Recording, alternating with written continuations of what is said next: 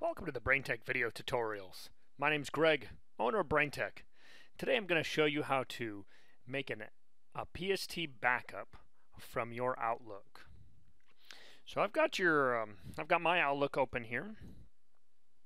And what I want to do is I want to make a, a, full backup of all my, my stuff uh, that I have within my inbox, my sent items, uh, my calendar, my contacts, every, everything that's in my Outlook that I use all the time.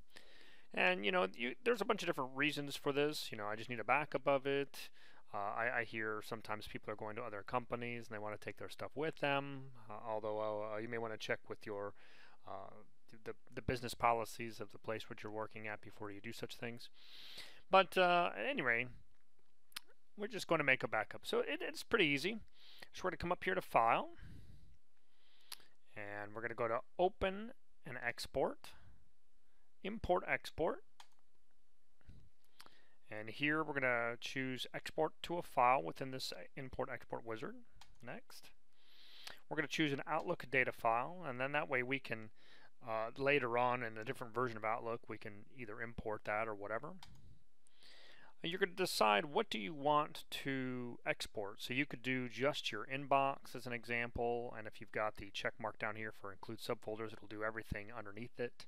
Or you can do the entire mailbox and just click up here. Again, making sure that this is checked. Click Next.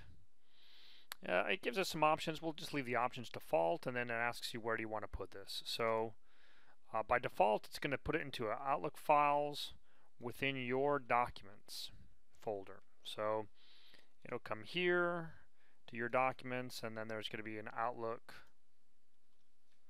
files folder. Currently this is empty, so we'll leave that up on the screen. We're going to go ahead and uh, just leave this as backup. Uh, you may want to date it if you'd like, so you can tell, hey, this is my 2015 archive or, or whatever it is that you're backing up. And we're going to hit finish. It'll prompt you if you'd like to put a password on this.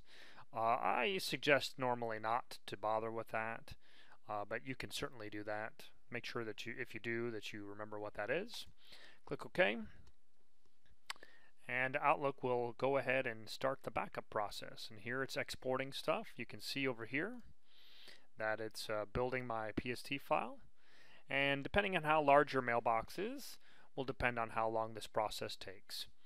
Uh, and you can see here it's you know rocketing through these little things 15 seconds but it's still within the inbox so it may take some time.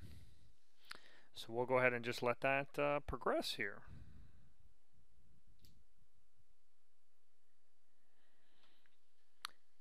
Okay, so Outlook has finished and the window, the exporting window just goes away.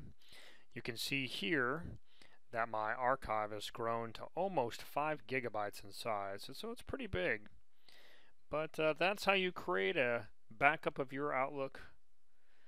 So I'd like to thank you for watching the Braintek video tutorials. Check out our other video tutorials on the Braintek channel and have a great day.